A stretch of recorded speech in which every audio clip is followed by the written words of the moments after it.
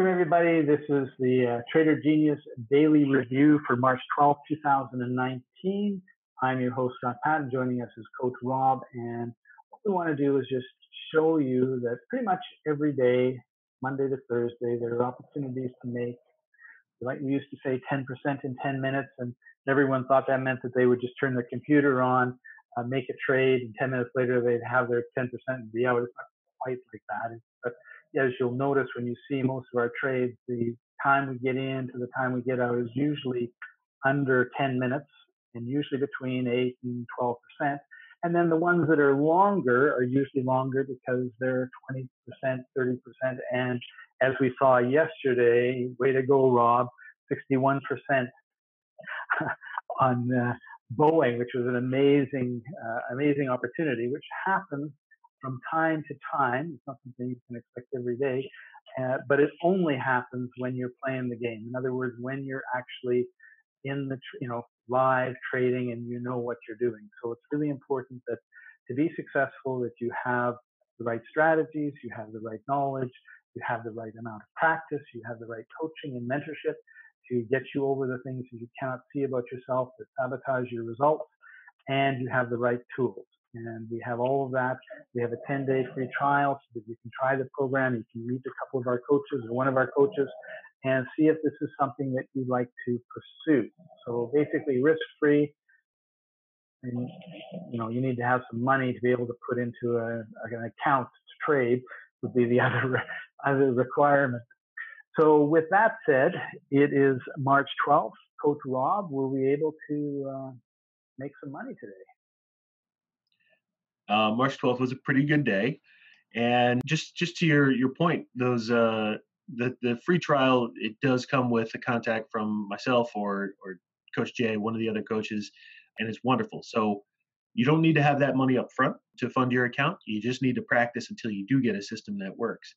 Now, as you were saying, we we can we can teach a system that works. We have advanced coaching to get that exactly, but you're free to get in the replay simulator like you see right here and find your own entry and exit criteria. Sometimes you're going to get those 61% trades like we did yesterday.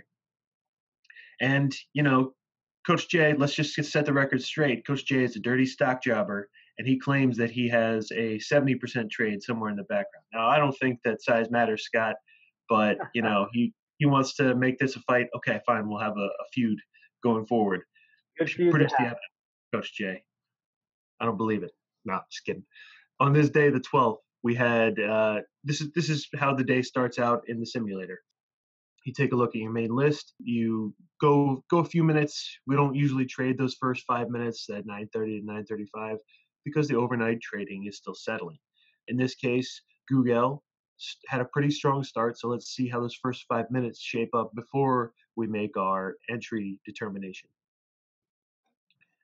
You can see it right here. We're going with the automated candle sizes. So it starts out with one minute per candle. And you can see from the opening price in the first two minutes, Google's got pretty nice uh, volume. We traded Google yesterday, had a nice call, and it's starting off the same way. It had gapped up about $4, and it's continuing to get up there. It's hitting resistance and going sideways a little bit, but now it's starting to break that resistance. We got our blue background that's called K band that tint around the green candle. That's a good thing. The market's not quite supporting us, but Google is looking pretty strong for those first five minutes. So to recap, it shot up from 1183 all the way up to 1190 and it's starting to break out of that risk zone which is this orange orange highlighted area it's just risky you don't want to take trades in there that's that's just garbage you can do better than that so wait until something breaks out like google is here and then execute your buy call using our replay controller right there. And we'll see what Google does for us. So we have broken for the high of the day, of course. It's early in the day, but we had some nice volume and it's a green move breaking out of resistance and above the risk zone. So we got three minutes, nice, big, healthy candle right there. That is that is good profits 19%, but there's nothing really strong telling us to get out right now. The market is nominally supporting our move. We're at a CLV of 97. There's not a big wick uh, at the moment. what I do see, and this is maybe the, the coach's tip for the day, just just kind of do a little profit planning, not 10% 10 minutes. You you know, that's a little bit arbitrary, but in the moment, in this trade, as you said, follow the trend, Scott. So the, the trend might give you 8%, might give you 61%, might tell you a fairy tale like 70 something percent, like Coach Jay will say. But in this case, what I'm telling you is we're at a big price point right here, or we're approaching a big price point. We're at 1197. 1200 is lurking. 12, the big round numbers are the ones you need to look out for because there's just a decent chance of a turnaround. Doesn't it's not a guarantee it's going to happen, but in this case, we're looking at Google. It's streaking upwards, and there's probably some stock traders out there who are going to say, "Yeah, let me put in my sell order right at 1200 or they might try to beat you by a few cents to ambush you early. So this trend is unlikely to continue much further beyond this. We got some resistance uh, in the rb line here. We did peek across that so that's nice nice for us. I'm to kill my timer. And you don't want to wait around until it hits 1200 because there's a good chance of a turnaround and we also have that blue star. So that just means some it went very powerfully in that direction. So that's a good exit indicator. Let's take our 26% and just have a great rest of our day. That was uh 26% in about 10 minutes of work. So we talk about four hour work week, Scott. That'll do it right there. So let's go uh, and see if it hit 1200. I'm always really curious. That's all right. It did did not turn around until well if you stayed in that long god bless you. In this case it did turn around on you pretty hard and some folks took their profits and left you hanging. But, but that's that's the perfect that's exactly what you were talking about right?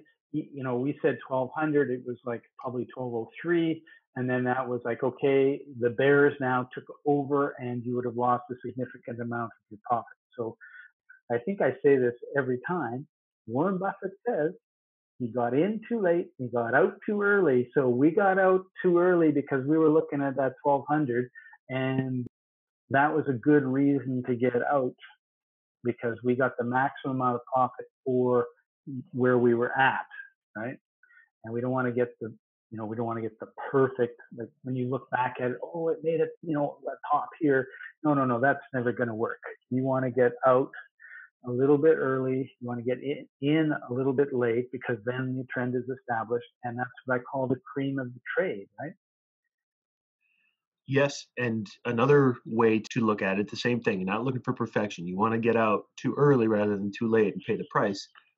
What that really boils down to, maybe this is the the coach's tip of the day. We'll get it get it done on the first trade. Is there's a tendency to put pressure on ourselves as traders to predict the future as if we know what's going to come next in the candle. Now you can get pretty darn good at it. You can generally, you know, if you if you do several thousands, tens of thousands of reps, you can start to get there where you're you're like, okay, I see this forming and I know what this trend is. But when you're starting out, do not expect yourself to know what's coming next. In this case, we're not trying to predict the future. We're just reading the situation as it is and we are adjusting accordingly. So don't think you know better than your indicators. Listen to your indicators. They're telling you that there's a big price point approaching and there's a big blue star on your on your chart. Just get out. You can always get back in later if if another trend starts. So listen to your indicators. Don't try to predict the future. Yeah, yeah, and I, what I would add to that is we are. It's like a chess game, but you don't see the other person, right? And there's someone on the other side that's saying, "Well, you know, I have a computer and I'm going to be doing this computer trading. And when do I want to get out or when do I want to sell? At 1200, 1201 or 1202 or whenever, whatever the number, we don't know normally what that number is. But we know generally speaking that the bears look at, you know, something that runs up to 1200 and goes, oh, that's too expensive. You got to take, or that's, we, that's where I'm going to be taking my profit at 1200 which means I'm going to sell, which means all of a sudden things turn red. So we don't have to be a genius to think, well, you know, what are the people on the other side doing? What are the people doing that have these computers? And, you know, a week ago they said, if it hits 1200, sell, right?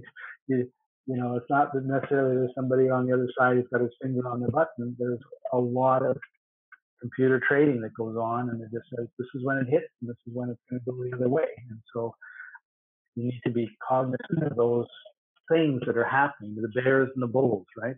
And I thought your timing on this was great. It's like you thought, you know what, we're getting close to 1,200. That's a huge number, and that's probably when she's going to turn around. So let's get out before because hey, we've got our profit all locked up. Absolutely. And uh, let me let me just say, Scott, since you you brought up chess, and I got to give a shout out to one of my best students, a wonderful man over in France. He teaches his daughters chess, and they just made it to the nationals in France. And he's a big chess buff himself. He explained to me the difference between closed and open games. So an open game is where you're very aggressive and you're offensive and that is where in if you take that to trading you can get greed and hope really souring your your, your trading account so start out with a closed game which is deliberate and you're looking for your opportunities but you're not aggressively kind of shaping the situation. You let it come to you. So keep it close to the vest closed game and that that helps protect your bottom line. Awesome. So this is the only trade today right? Uh, nope, not quite. Ready to jump over to the next one, and that was a really good good discussion on that Google trade. Appreciate you going for that one. This one's a little bit, yeah, it's a call as well. It's Amazon. It, it comes at 9:51, so it's a nice nice time in the trading window. 9:45 had come and gone. We're a little bit against the market, but we are at a CLV of 98. So Amazon's kind of breaking up for the day. It had a nice run went sideways, took a breath, and now it's renewing. So let's get our I close replay controller and get in on a call with Amazon. And it does have a little bit of a march up. So there you go. It's it's peaking, it's checking 1680. So let's just be very cautious as it moves past that price point. But we did get a nice renewal of our K band and a trend line's coming back online, breaking above 1680 there nice higher highs. We haven't busted that term out in a while, but the higher highs are on a green run like this, a bull run. Right here, this candle is closing higher than the previous candle, and it's just kind of has a nice stair step approach. And that happens with with red trends as as well. We call those lower lows, but in this case, we're all about those higher highs. Here we are, 956, sitting at 10% profit, and right there, double Y point. Trend's a little bit older now, I think that'll be it. Let's call it there. Take that nice 10% and put it in our pocket, keep walking. And then finally, our old pal Boeing. It's had a rough couple weeks. It's been all over the news cycle. And, you know, we're not going to get into the moral and ethical things that are going on. We just know the chart either, the stock either goes up or it goes down. So the chart's going to be red or green. In this case, move back up just a minute and at 9:56, I want to check out what's going on with Boeing. It had started the morning uh, up till about 9:45. It had been on its way up, and it hit a resistance line called the pivot. That's kind of the center between the resistance and the support lines, and that sent it going downward, sideways, and now we're really peaking down below the risk zone. Lots of volume. Exactly. So great minds think alike the volume's been there. We saw that uh, when we did the trade view yesterday on the 11th, and then last week when Coach Jay was breaking down Boeing very nicely.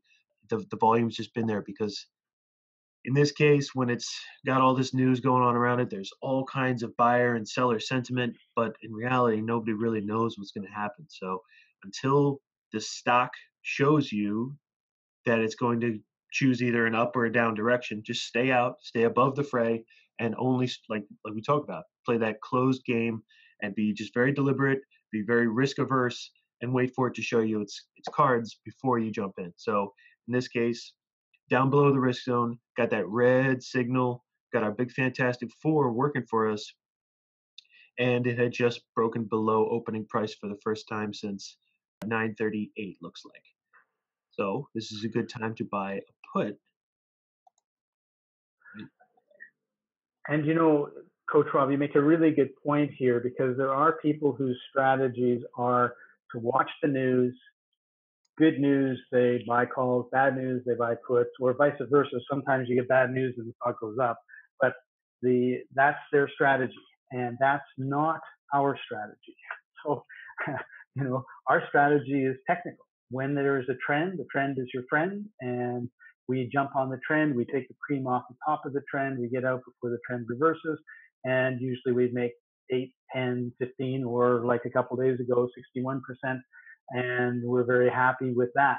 So we're not trying to get in at the perfect time. We're not trying to get out at the perfect time. We're trying to do what Warren Buffett taught get in too late, get out too soon, and take the best of and the less stress. I mean, it's very, you know, there's a lot less stress when you know, wow, this is an established trend, and you just ride it for, you know, two or three or four minutes or 10 minutes. And when it's obviously coming towards the end of the trend, you get out and you can enjoy the rest of the day. Yeah, and and the Amazon trade we just went over that you know nine that's a really really good day. You don't to be clear, you don't need sixty one percent. Don't set that expectation. Don't set that bar right. so high. On this one, we're gonna have a nice nice trade too. We entered on a put, but yeah, you you really can't control it. That's the key here. Is you can't control it. You just gotta let the trend deliver to you whatever it's got to give. So you watch it, you, you take its pulse as it's as it's building, as it's running, and as it's ending.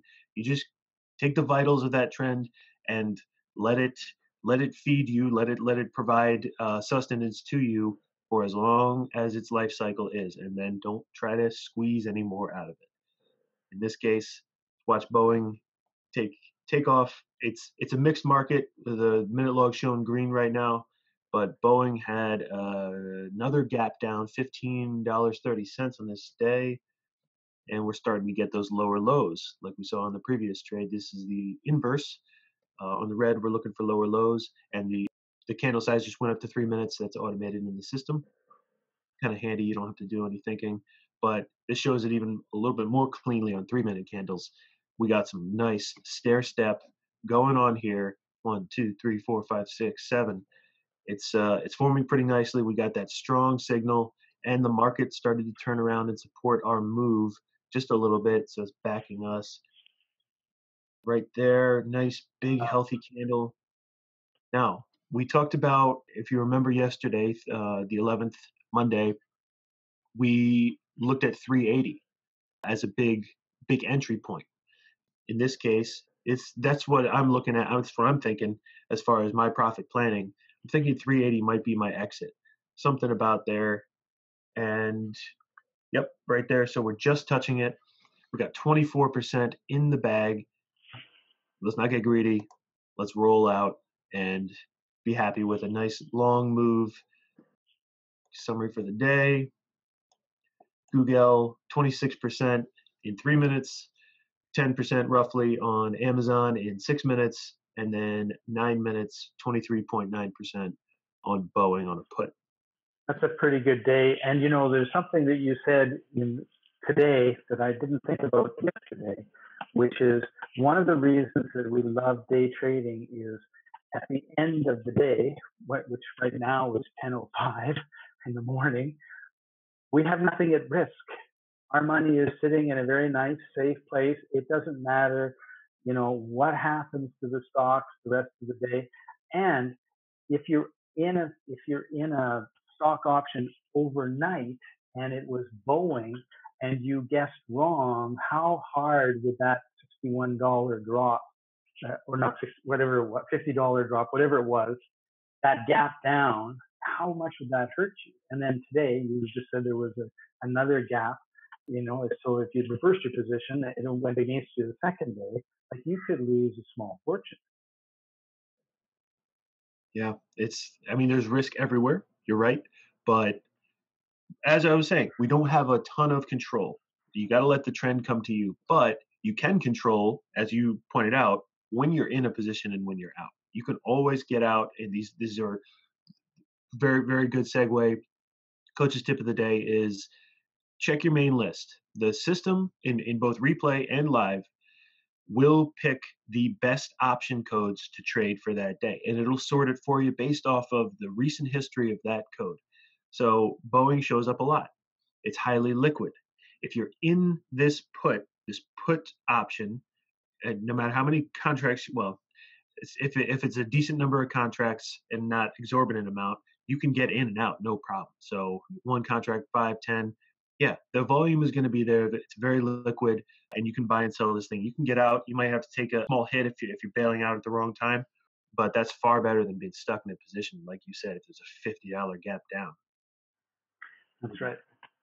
So you're able to sleep, you know, sleep well at night, right? Because you don't have to worry about whatever's happening in the market when you're not paying attention because you're asleep. And that's one of the beauties of day trading. Yep. As opposed to swing trading. Awesome. Well, thank you very much, Coach Rob. This has been a, an excellent day. Thank you for joining us, everybody. Just want to remind you we have a 10 day free trial. You get a chance to talk with Coach Rob or one of our other coaches uh, and learn about the software. It's important that you master the software, you master your self sabotaging behaviors. In other words, your mindset, whatever's going on between your ears, that you master your strategy. You need to be like uh, you know a chess player and think strategic. And this today and yesterday, I think uh, Coach Rob, you really showed off the strategic reasons for making some of the decisions to get in and get out that you did. And I think uh, I really appreciate that because it, it makes it clearer for me and hopefully it makes it clearer for our audience. And our goal was to show you, as we did again today, that pretty much every day you can make 10%, or in this case, 26 and 24% in under 10 minutes of trading time. That doesn't mean that you won't be, uh, you know, preparing and getting ready, and there's other things going on. So don't like put the egg timer on for 10 minutes and say at the end of the last sand goes through, like I didn't make my 10%, God, what the hell? you know, it takes some time and some effort, and hopefully you're starting to see that this is a good, great tool with great training and can help you achieve your financial goals. So we look forward to having you become a member of our family. So with that, we'll say uh, bid you all a fair adieu until next time. See you later, everybody. Bye bye.